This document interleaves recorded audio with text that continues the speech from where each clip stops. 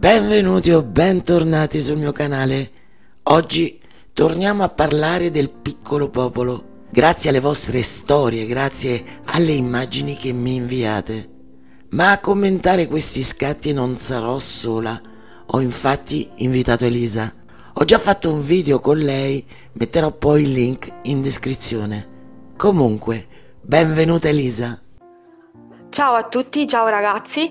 Eh, innanzitutto vorrei ringraziare Monica per avermi dato l'opportunità di far conoscere la mia storia, la mia esperienza nel precedente video.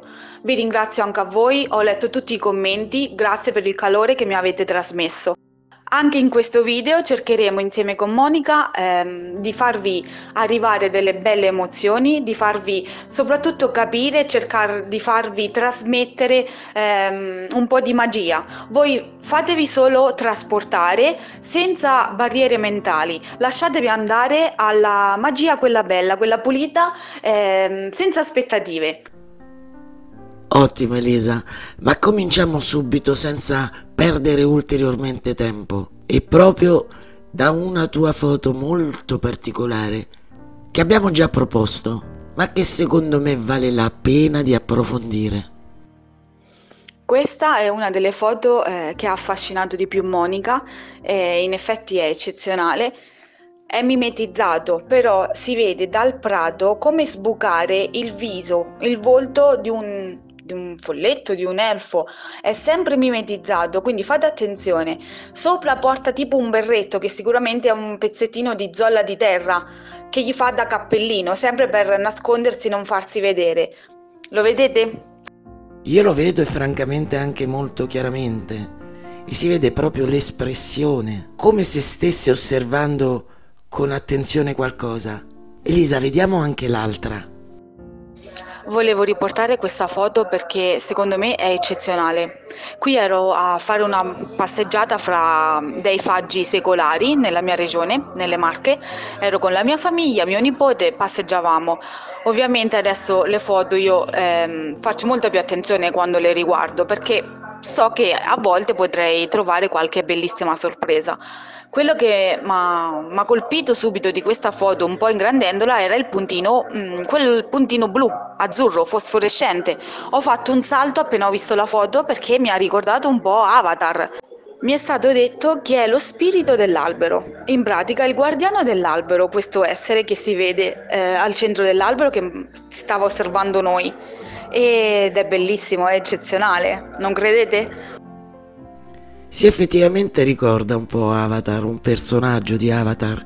Sai, io ignoravo che alcuni di loro avessero la pelle blu, ma ora voglio mostrarti una foto che mi ha particolarmente colpito e che mi ha mandato Maria Teresa, che si trova nella provincia di Asti ed è proprio in quella zona che realizza questi scatti.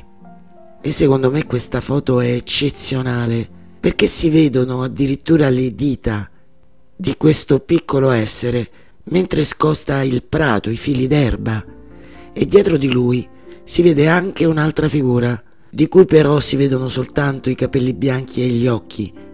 Sembra quasi una figura femminile. Tu cosa ne pensi, Elisa? Allora, Monica, in questa foto io eh, riesco a vedere, mi sembra di vedere delle manine con dietro un, un volto che non so esattamente se sia un elfo o un gnomo, che ha questa faccia un po' camuffata. Io invece davanti vedo proprio una figura un po' curva, con questo viso molto ingrugnito che si fa strada tra l'erba. Comunque adesso te ne mostro un'altra, molto particolare. Allora Elisa, guarda bene questa foto. Quando andiamo a zoomare Secondo me si vede quello che sembra quasi un bambolotto. Io infatti l'ho definito ciccio bello. A te cosa sembra? Comunque qui si vede, cioè si vede proprio il viso, si vedono gli occhi e la bocca. Cioè è nascosto perché è piuttosto dentro e un po' al buio, però si vede questo volto. Ma gli occhi impressionanti. Comunque è buffo, eh? se ci fai caso è buffo un bel po' perché è curioso, sembra curioso. Poi non so se si vede anche la manina, il braccino, un po' più avanti. Eh, osserva da un lato in alto. Sembra che guarda verso l'alto e su un lato. È curioso, è come se stesse osservando qualcosa, qualcuno. Hai fatto bene, Elisa, a evidenziare il punto che è molto al buio, perché voglio sottolineare che queste foto non sono state manipolate in nessun modo.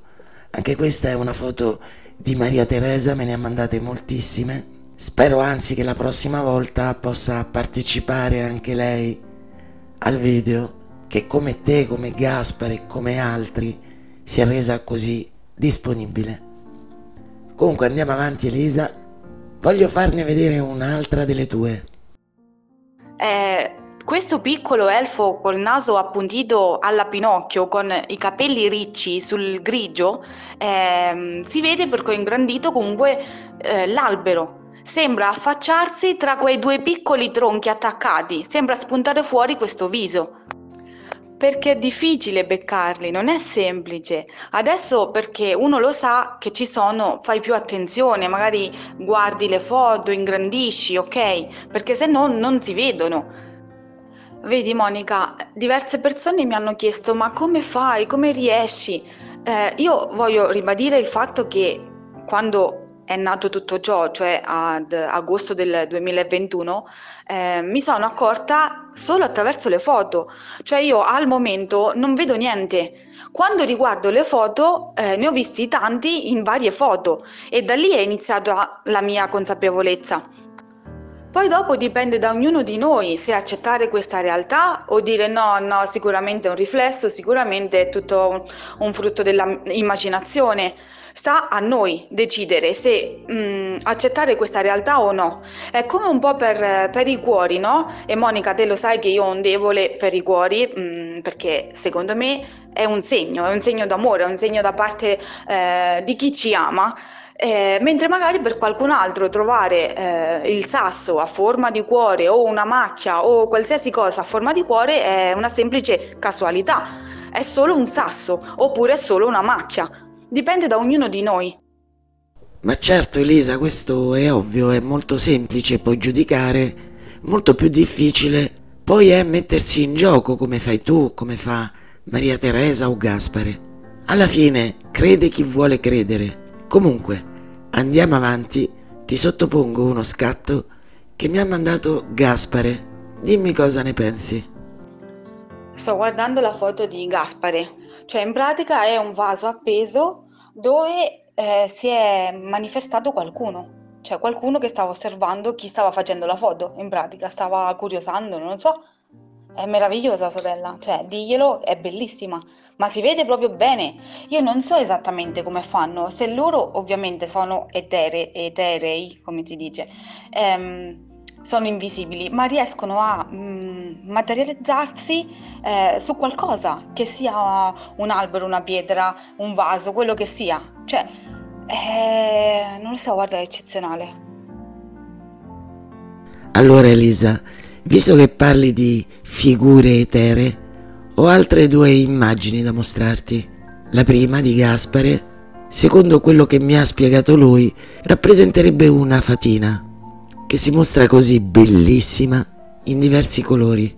La seconda di Maria Teresa mostra un ognomo che forse si sta materializzando o forse mimetizzando tra la natura. Il piccolo popolo si manifesta attraverso un riflesso, attraverso un gioco di luci e ombre, attraverso un, non so, un riflesso eh, sull'acqua di un lago, magari riesci a vedere un volto, uno spirito elementale. Ehm, cioè, se noi ci aspettiamo di vederli come vediamo le persone, un cane, un gatto, allora rimaniamo delusi, perché loro è tutto un gioco di luci, ombre, ehm, sono su un, un altro piano, diciamo il piano un po' più astrale. Andiamo avanti e anche questa è una foto di Maria Teresa in cui sembra di intravedere un ognomo, un elfo, dalle gambe lunghissime. Elisa, voglio far vedere un'altra delle tue affascinanti foto. Di questa foto non me ne sono accorta subito. Eravamo sempre a fare la passeggiata tra i faggi. Mi sono accorta dopo tipo uno o due mesi. Ehm, in pratica c'è questo gruppo di tronchi di alberi messi tutti insieme in penombra. Però se fate caso, eh, sotto eh, sembra una radice, però mh, mm, si vede come se fosse un braccio che spinge, che apre la terra, che spinge via e sopra c'è un mezzo busto con un volto. Si vede questo naso un po' a patata. Sì, Elisa, hai ragione. Sembra proprio che qualcuno stia spostando la terra.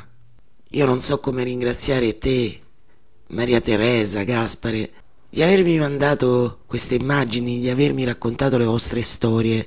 Ho un affetto particolare nei vostri confronti, non solo perché avete il coraggio di esporvi, ma perché ci donate un po' di magia e credo che in questo momento ce ne sia veramente bisogno.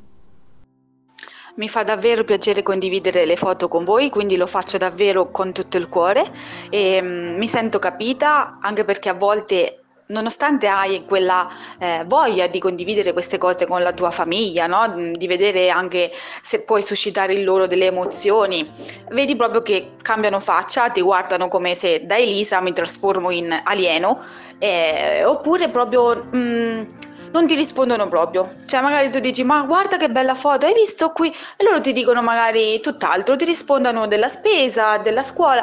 Cioè, quindi capisci che eh, è molto difficile trovare qualcuno che ti comprende. E poi, Monica, eh, che male c'è nel sognare? Che male c'è nel credere? Che male c'è nel godere di queste foto, di queste visioni? Cioè, Anzi, se per te è una gioia, se te senti che ogni volta è un battito forte del cuore perché ti dà un'emozione, perché non viverle? Che male c'è? ci chiede Elisa. Che male c'è? Di certo non c'è nulla di male, anzi, il male risiede altrove. Non è forse vero che anche chi ha fede, una fede religiosa ad esempio, compie un atto di fiducia? Crede nell'invisibile. Ma forse il vero problema sta proprio come dice Elisa, in quel brivido del cuore. Forse abbiamo paura di condividere con gli altri quel brivido, cosa che invece Elisa, Gaspare e Maria Teresa non hanno.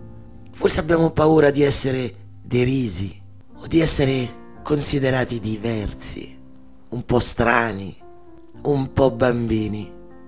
Ma fammi sapere cosa ne pensi tu, se credi nel piccolo popolo, se credi nella magia, oppure ritieni che siano solo fantasie. Ti aspetto qui sotto nei commenti e ti ricordo che se vuoi sostenere questo canale basta un like o un'iscrizione nel caso non fossi iscritto. In ogni caso ti aspetto molto presto, magari proprio con Elisa Maria Teresa e Gaspare nel prossimo video.